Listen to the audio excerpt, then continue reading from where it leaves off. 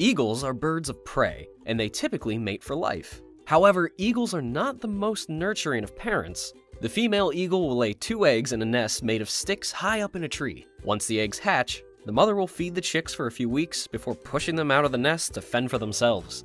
The eagle mother often demonstrates the ultimate in hands off parenting, even going so far as to allow one of her chicks to kill the other without interfering in the slightest. The nest based squabbles are common among eagles, and mom will happily sit back and let them get on with it, even when the stronger sibling goes as far to kill their weaker brother or sister.